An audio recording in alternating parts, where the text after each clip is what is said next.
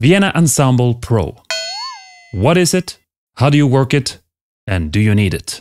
Let's find out in this video.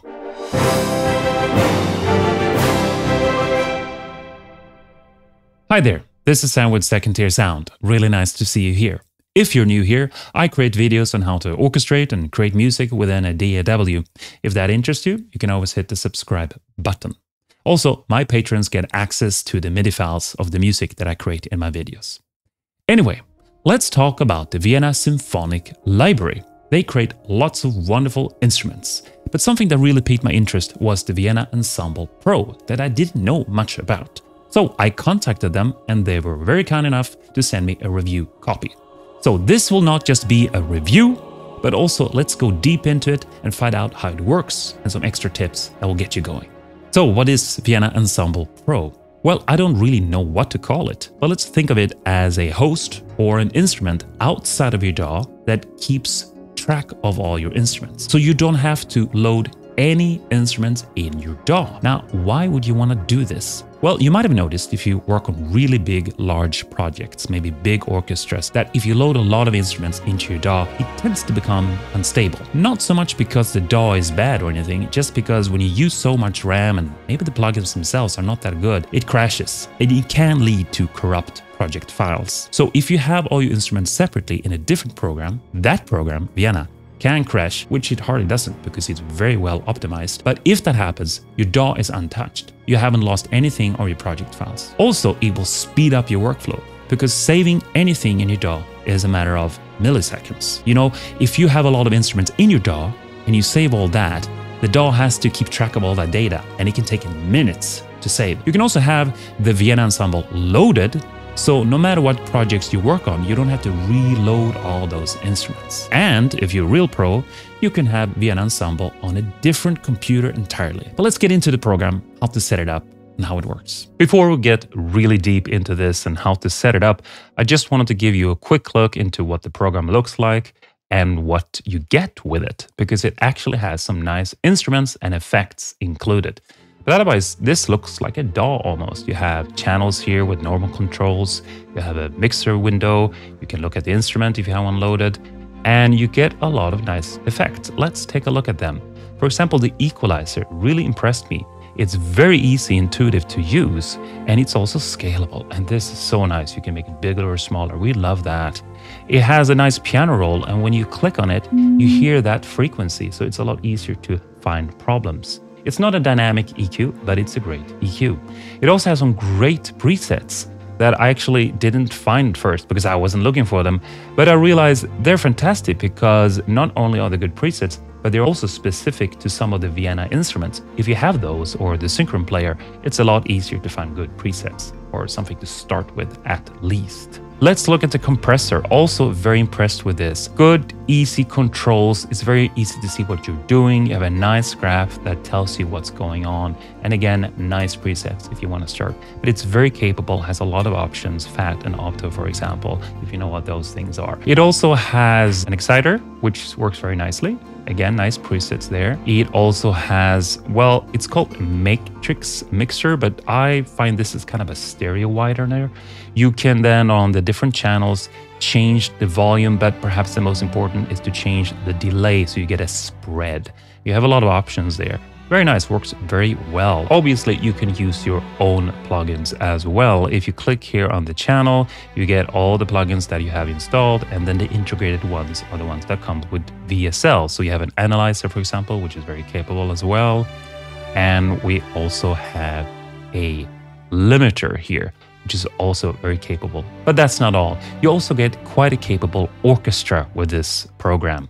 Well, it's not something that will replace my big orchestral template, but it definitely sounds very good. It's very easy to use. I find it a very good sketch tool. I was quite surprised at some of the sounds of this instrument. So let's take a look at those. I have now gone over to my DAW, but everything is still being played from the Vienna Ensemble. So let's just take a look at some of the sounds that you get. You have some nice strings here.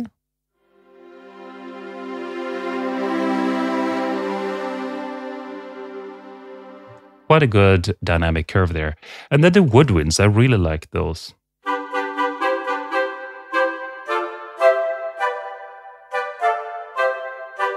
All these patches have key switches and you have quite a lot of sound. So the strings are not just long, you have shorts and pizzicato and all kinds of stuff. Then we have a nice legato oboe. You don't get too many legato instruments, but this is one of them.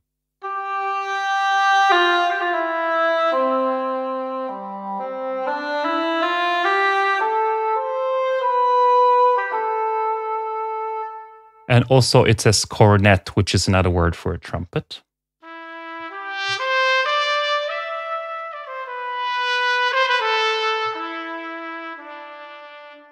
Trumpet ensemble.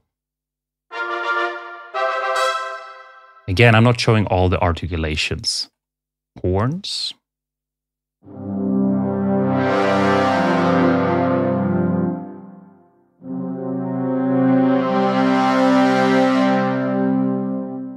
And then there are a few more patches, but I want to show you these horns as well because I really like them.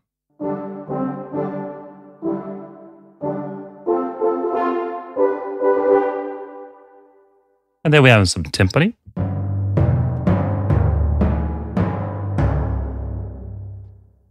And some percussion, which is basically a, a bunch of different sounds.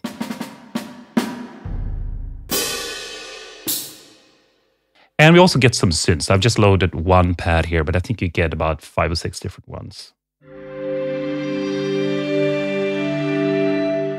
But I think the best is actually to show you a little piece I just created. And I just want to say again, this is not replacing my big professional orchestra template, but still, it sounds fairly good and it's great for a quick mockup.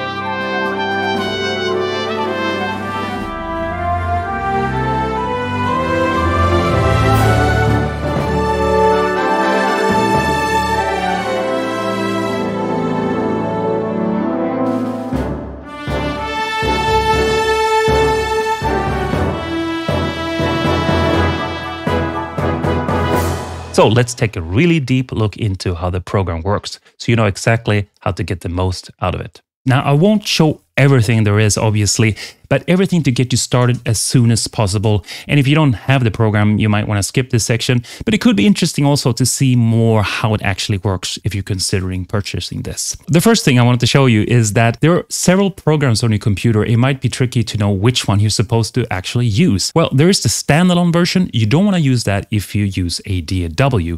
And there is the 6 version, which is the old one, which is about backwards compatibility. And there is also the 32-bit and the 64-bit version version, most of us probably want to use the Vienna Ensemble Pro Server 7 64-bit version. So make sure you choose the right one. First thing is to go into preferences and check a few things here. It's not a lot you need to look at, but perhaps instances would be interesting for you. And that is to make sure your multiprocessing is set up correctly. Now, in most cases, you might just want to put this as one thread. And I have an old computer, I have an i5, which is still fast processor. So I don't really need to set this differently because I only have four cores. But if you have a really fast CPU, you might want to change that so you can have more power, maybe two or three threads if you can afford it, to each instance. And we're going to talk more about instances in a while. You might want to change the MIDI ports and outputs, but for most people, the default is definitely enough. And then maybe you want to change the default MIDI channel. I've set it to alt because that's the way I like to work, but you can set it to one or none or whatever you like. Now, the most important thing though is plugins, because if there's nothing here, then Vienna has nothing to work with. So you have to go to VST settings, you have to find the folders you want to work with by adding folders, scanning them, and then your VST instruments will show up. There's one thing I want to mention though that I've noticed is that Vienna doesn't seem to find VST3 instruments, at least not for me. Maybe I did something wrong. I did double check a few times, but VST2 instruments. So if you find that it doesn't find your particular instrument, make sure that you have the VST2 version of that plugin installed as well. All right, I'm going to close here because that's pretty much it you need there. Okay, let's look at how you set up a template in VSL. Let's go to File, and then you go to Add New Instance. Here you will have an instance. This box is the instance, and everything down here is everything contained within this box, you could say. And what is this? Well, it's sort of a group track, maybe, or a session, or different instruments and plugins. So let's change this. I want it to be called strings, strings, And then I want to right click here and I want to set the color. Let's have, that might be a good color. And then I want to right click again and change to switch instances list orientation. You absolutely do not have to do this. I'm just showing you, I prefer it this way. Then I have all my instances on the left instead of on top. Before we go on with this, I just wanted to say this automation here, it's very useful. You can load anything up here, any instruments you want and then you can click on learn and touch your MIDI controller and you can automate that process. I don't use it, so I turn it off so I have a bigger view. Otherwise, I use it in my DAW instead. Okay, so let's talk about these buttons here. We have a contact here that will lit when you're connected to your DAW, and I will show that a little bit later. Then this button is on and off, very simple. You can turn this instance off and you can unload the samples and save some RAM. This is the CPU usage. There's nothing going on right now. And this is a MIDI indicator. And here we have this lock button that shows that if your samples are loaded here, then they won't be unloaded when you close your project in your DAW, which is very handy. You can, of course, turn that off and then they will be unloaded when you close your project in your DAW. This is a decoupled button, which I will talk more about in the DAW section. So let's just load up an instrument here we're in the instance. So I'm just going to add a, sorry, in East West Opus. Here we go. I usually change this one. It's easier to know what's going on. I can't spell today. Legato. And it's very simple. This is like a DAW pretty much. You can see uh, here I can change the instrument if I want to. Here I can change the volume, the pan, mute, solo. And let's talk about this because this can be a little bit confusing. You might remember that in the settings, I set this to be all. But let's talk about this. This is the input MIDI, MIDI input. So you can have up to 16 different MIDI inputs. And then you have the MIDI channel. And you can also have 16. So 16 by 16 gives you quite a lot of options. This will become a little bit more clear when I work with the DAW, but just know that this is there. Then here, master bus it says, because this is routed to the master bus up here, but I can also change a different output if I want to. I'm going to talk a little bit more about this in a while. This is very good to have if you, for example, have several channels here and you want them all to be controlled by one master. You could, for example, change the volume or put in effects here. Uh, Vienna has effects included. But in this case, the way I work, I don't need the master channel. So I'm going to remove that one you can keep it, you do as you want. I'm just going to show you why. So I'm going to speed up time a little bit and load quite a few tracks here and show a little bit the way I work. Okay, so here I have quite a few different channels in one instance. And let's take a look at the first one the solo violin. This is just one instrument or one articulation, you can say. So I don't need many channels or many tracks. So I have one MIDI input and I have MIDI channel one because it's only one if I had several tracks here, I might want to have more. Okay, and I have it routed to the first output because I want all these to be separate. I don't want them to come out on the same channel in my DAW later on. Now the next one, violin one, I want it to be separate, so I have MIDI input two, right? So I can separate them in my DAW later. But here I have quite a few different articulations, see?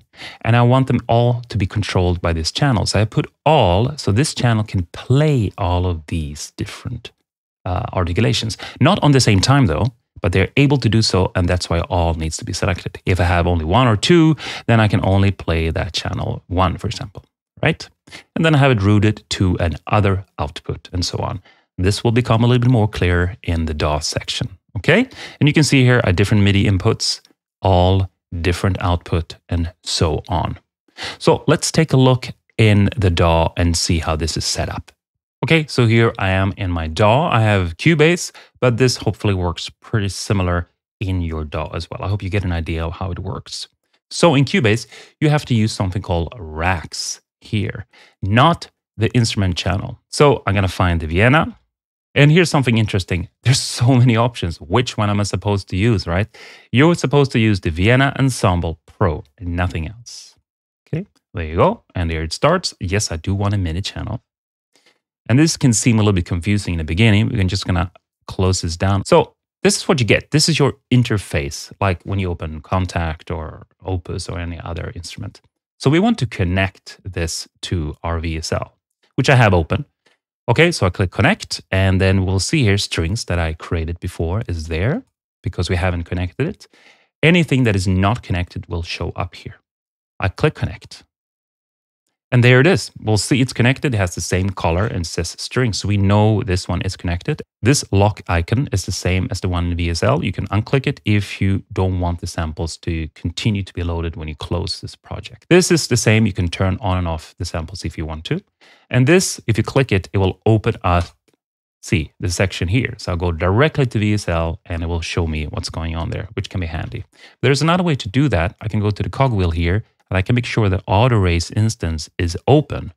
And when that is open, as soon as I click on instrument here, I open it up, voila, I'm back in VSL as well. Okay, so what else do we have here? We have the buffers. And I would say none to two is the best option. Uh, none is more if you have very few tracks and a fast CPU and a good audio card. Uh, you might find that if you don't, you might stutter a little bit. But I found that even with one or two, it works fine. I don't notice a big latency. Perhaps on uh, percussion, you want to use maybe one or none if you want more accuracy. So why would you want to use three and four? Well, when you do playback and you have a lot of instruments, you don't need to put any MIDI data in. You want a smooth playback with lots of effects, then three and four works much better. So something to consider. So now this decouple, what is this? Now when it's off, it means that the instruments are coupled. And that means when I save data in my DAW, all the instrument data also will be saved.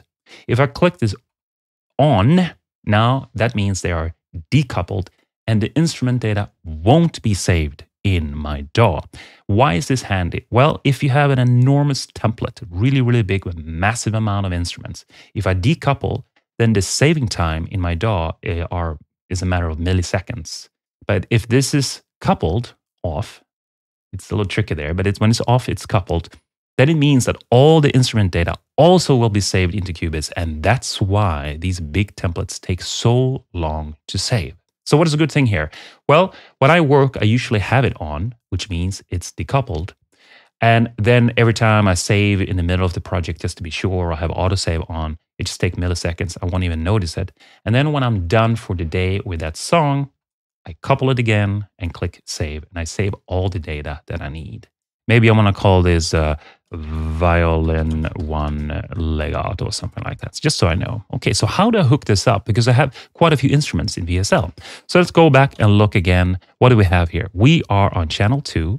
We're linked to strings, so that's fine already. But we're here on MIDI input two, and in this case, it's MIDI channel one.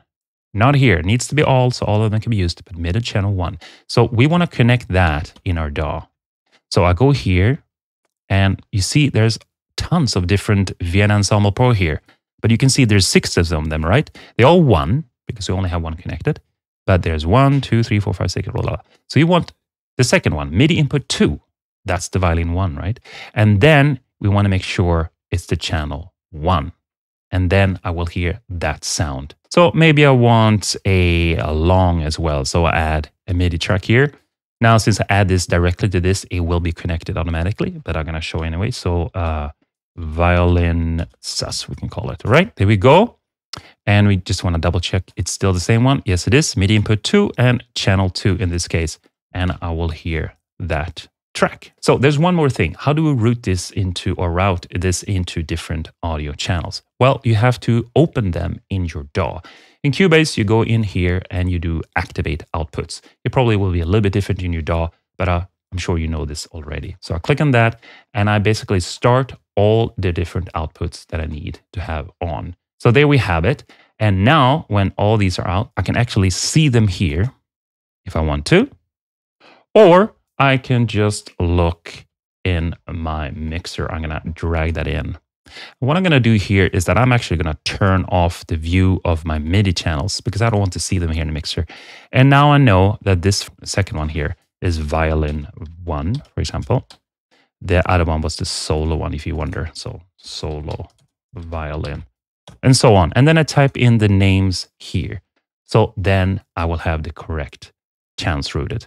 I usually change the colors here as well so I know exactly so they match here. All right. So hopefully now you know how to connect it in your DAW and how to route the audio channels. So we have a few buttons here I haven't mentioned, and that is because they are only working when you have Vienna instruments. So what do they do? Well, reset, for example, that means that you won't get rid of your instrument, but all the samples loaded into memory will be wiped. So you can save a lot of memory that way. Uh, for example, Opus and even Kontakt has that function built in. So you can still do that, but you can't do it with one click. Then they have optimize, and that means that when you're finished with your song, you can click optimize and all the samples that are have not been used are removed. Also a great way to save RAM. And the learn is kind of the same thing. It's more you click learn and then you play this song and then Vienna will learn what samples you are using. Then I also have a tuning fork, which is interesting. You can tune the entire orchestra up and down, but it only works for Vienna instruments again. So I just wanted to show you the incorrect way of doing this. And if you work for VSL or if you have used this program before, I hope you don't get a heart attack when you see that I have loaded so many instances. Everybody says that's not the way to do it. It won't optimize your CPU and you might crash and not work. But I will tell you why I still do this. And you might want to try it yourself uh, on your own risk here. And that is because I haven't noticed any performance difference in doing this or setting up with few instances. And that could be because I have an old CPU or a different computer or different setup. I don't know. But I've noticed there's no difference, so I do this. The other way I really like about this is that I have an easier control of things. Each instance is an instrument. Now, I can have several articulations, yes, but they're all the same sound, the same instruments, and that's the way I like it. So I can remove or turn off anything very easily if I don't need it. Very, very important.